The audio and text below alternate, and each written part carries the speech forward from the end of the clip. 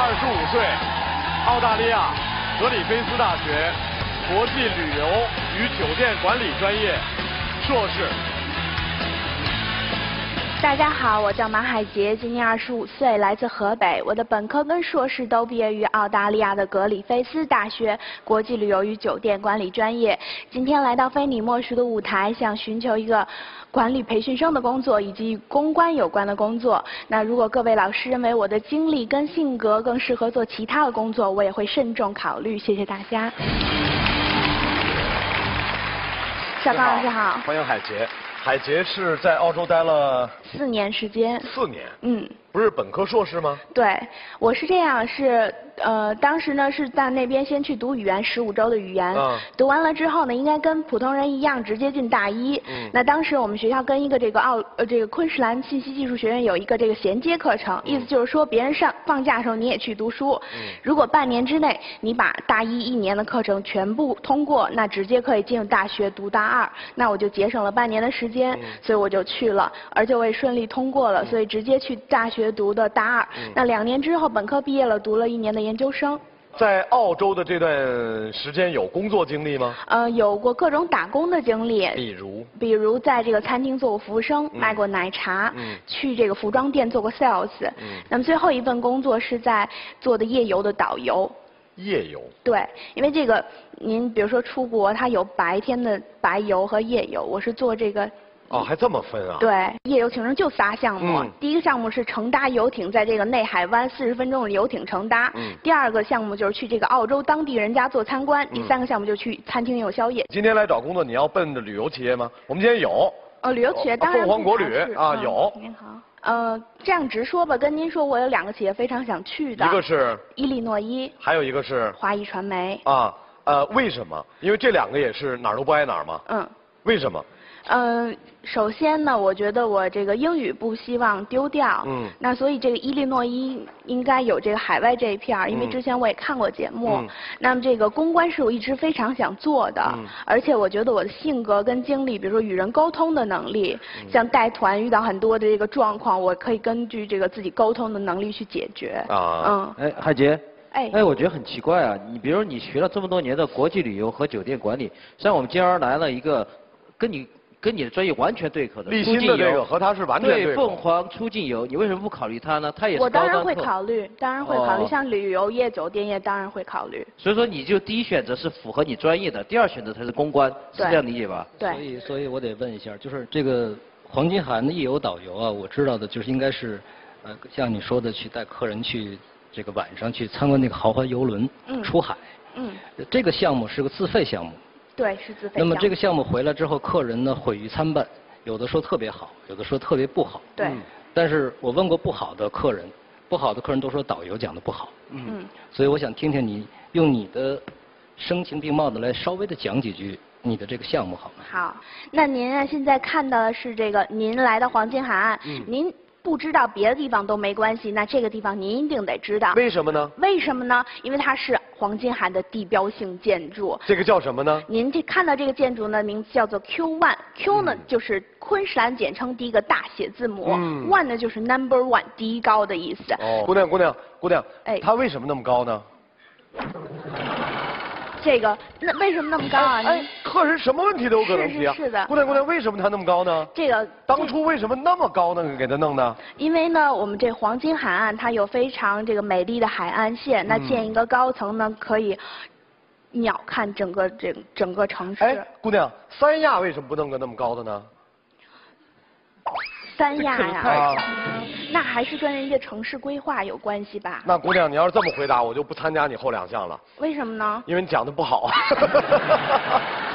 大概啊，感觉啊，到了大家选择的时候了啊。第一轮选。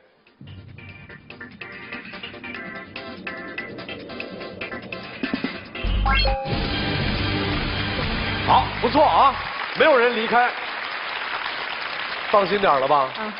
轻松一些，自己的真实状态，好不好？好，来听听杜老师给的建议。好，那个马海杰，呃，你的表达能力应该说相当强，相当强，特别能聊天啊。表达清晰，有条理，也自信，然后反应也快。但是你的沟通能力并不强。嗯，表达和沟通是两还不完全是一回事哈。为什么这么说呢？呃，其实你还是过于销售导向。你在语言上能很好的表达对别人的尊重，但是行为上没有做到。为什么呢？你并没有真正关心过你想要改变和说服的那个人，他到底是什么状态。嗯。你在整个这个呃沟通的过程中都没有这个环节。是，所以这其实也是做公关的大忌。嗯，你要想这点上后面要多注意。好的，谢谢谢谢杜老师，这就是我们常说的能聊和会聊是两回事能聊的人一宿不停都可以，但是会聊的是什么？你听着他聊，夸夸就想和他聊起来。海杰有这个问题，嗯，来吧，天生我有。继续提问，小叶。呃，那个呃，那个小马，我想问一下，你带过一个非常难带的极品团，是大概是什么样的呀？是不是个个都像邵刚这样的？这个是说实话没事 这个是呢，就是带团分两种，就好带跟不好带。那极品团就是这个三个小时之内是连续非常难处理的情况都会出现。呃，我来在在这一块再破拆一下，这个因为在我的眼里没有极品的团体，只有极品的事故。嗯。那你要去仔细分析一下这个极品团的构成以及它构成的环境。你认为最重要的和本质原因在什么地方？是团出问题，还是你们的服务出问题，还是中间的其他客观环境出问题？对。他呢是这个白天导游，因为我就跟您直说，因为白天导游他推项目，因为他是自费项目，当然越去的人越多越好。那就祸根是由导游。白天导游啊，因为白天导游没跟他说清楚，说我的领队跟白天导游都不跟团，只是夜游导游去带，所以他们一上车以后就会觉得，哎，我的导游呢？那你不是说就把我卖给你了？这种当你发现这个苗头的时候，作为一个优秀的公关人，在这里最应该做的事是什么？是安抚他们的你怎么安抚？对你如何安抚的？这点我是学，因为极品团的构成肯定是由你们几个导游一连串的事故所集结成的一个事件的链条。那么你应该在哪个环节上把它切断？到后面就把极品极品团改成最优良的一个团体。这是你的作为公关素质的人应该具备的一个天然的我就是跟他们沟通，一共十八个人都吵着要退团，那我经过我的沟通，十二个人决定继续行程，但是有六个人就还是。细节可以讲一下。啊，那我就跟，因为他们就是说，那不是就卖给你了吗？就把这个环节讲清楚就好啊。嗯，来。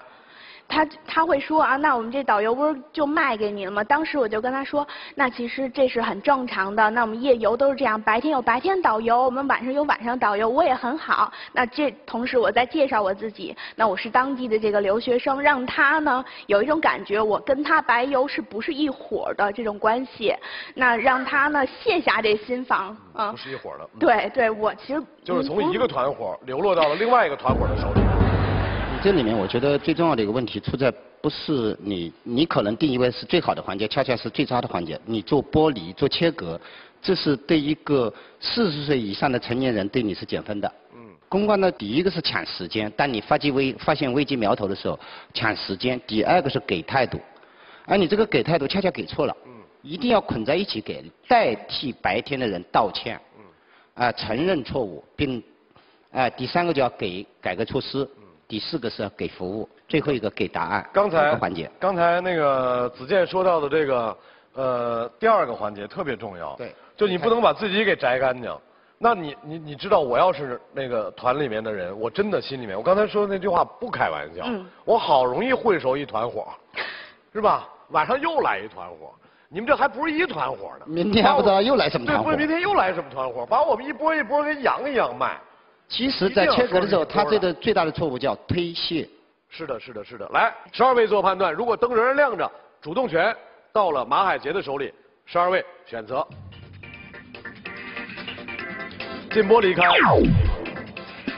小庄离开，立新离开，慕言离开。好，不错，还是有八位留了下来。啊，我们先听一听各位给的职位。来，华谊传媒子健。呃，虽然你在公关这一块的知识能力很弱，但是我觉得兴趣是大于能力的。你只要在这方面有兴趣，回去赶快找资料去加功夫。我给你一个公关专员的实习岗位。来，妮娜，一嗨租车。我觉得可以从资讯开始，因为你很有服务的这种意识。对。好的，来，呃，向荣。因为你是从澳大利亚回来的，我们实际上将来会针对外国人在华。的法律服务呢，我们有这么一个市场部。嗯。我们希望呢，就是这样的跟你的专业相结合。啊，来，伊利诺伊小燕。我就给海杰的职位就是 VIP 高端客户的管理。其实说就高端客户的管理。嗯，来文军来自聚焦摄影。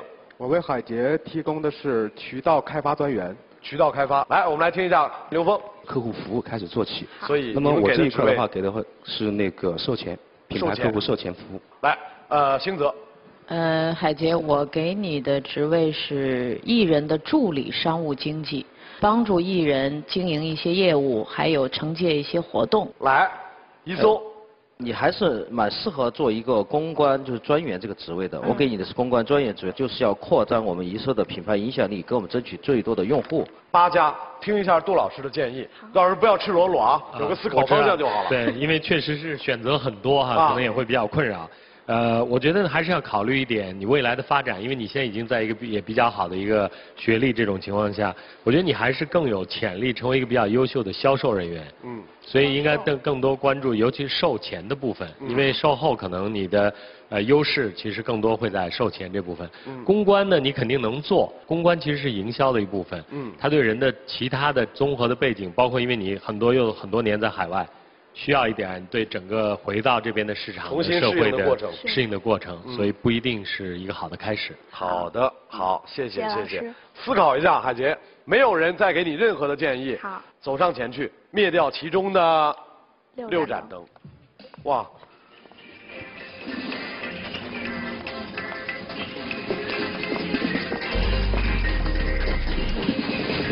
谢谢您。妮娜，再见。笑容，再见。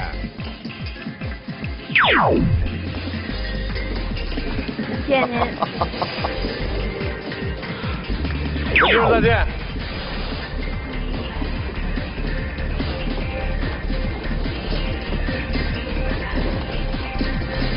王希再见。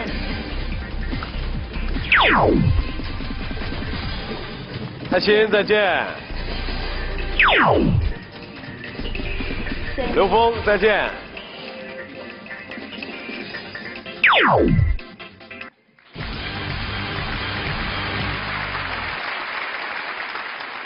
留下来的二位不是好消息啊！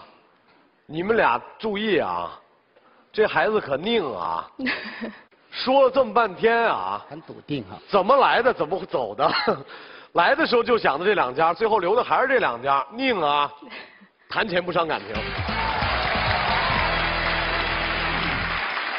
那杜总，您这边的薪资？起薪四千吧。那您那包住吗？包住。好嘞。我还是给海杰稍微好一点的待遇吧，因为我确实觉得他挺可爱的。嗯。呃，我给你五千包住，然后加奖金，好吗？嗯。来，思考一下，告诉我们，你的选择是华谊传媒，还是伊利诺伊，还是跟二位说谢谢再见？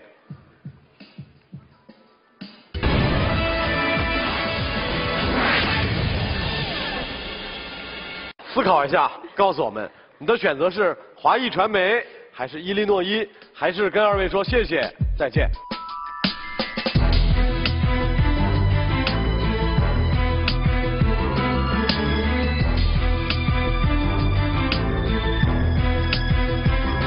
我选择伊利诺伊。应聘成功的女士将获得单次计餐。